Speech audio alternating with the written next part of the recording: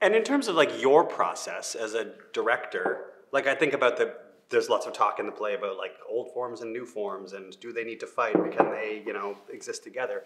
I started working with you like 10 years ago now. And when i first uh, met you i th- you know i knew you from uh, like making original work from the, the, augusta company and your work with Guillermo Verdecchia and Daniel MacIvor. Um, and then we worked together here on like mostly classical stuff and a lot of our conversation has been about diving into playwrights like Chekhov.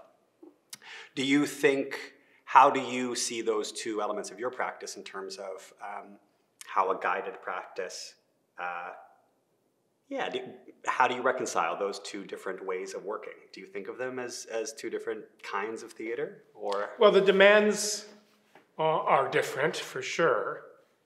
I don't think you know, only once or twice have I ever taken on a project that didn't come from a core interest or a core investigation or question I had. Um, so um, that applies whether you're creating original work or, or taking on a classic.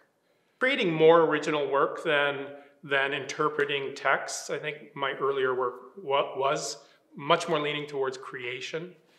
And I think what that, partially what that does is it, it gives me a greater sense of the playwrights, not as a, a revered icon, but as a working artist.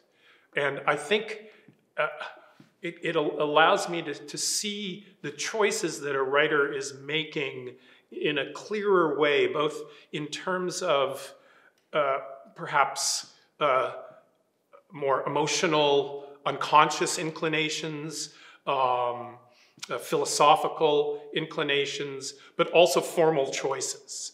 And Chekhov is incredibly um, deliberate in his orchestration of these last four plays of his. And I think having created so many original pieces gives me a little more access to construction and what construction is and, and, and I never get lost in a reverence for that playwright, um, as much as I revere him as a, as a, a great artist. Um, I see him as a working artist. Um, and so I think that that's part of, of, of how one aids the other. And I've always felt, for instance, that actors, all actors should write and perform their own work. I think it, help, it, would, it helps them understand and I've experienced this, it helps them understand what it is to take on another person's words as if they are your own, as if you created them. Because if you don't have that experience of actually creating uh, text for yourself in relationship to an audience and other actors, then there's, there's, there can be something a little remote about another writer's words. And that's a big theme in The Seagull. Totally. Yeah. that Chekhov has written these words for these actors, that um, Constantine has written this play for Nina, that Irina, his mother, is an actor who takes on the works of other people. So the women are actors in the play, and they're defined by the language of male writers.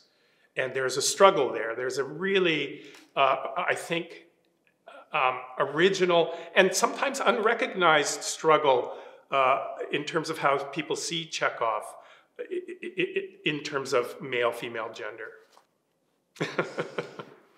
I could talk forever about you, Chekhov. Yeah. Uh, yes, our job is to mm-hmm. sit down at the table with Chekhov, not bow down at the mountain. Yeah. Do you know who told me that? No. You did. Oh. Come on, that was a uh-huh. soft laugh. Okay. Yeah.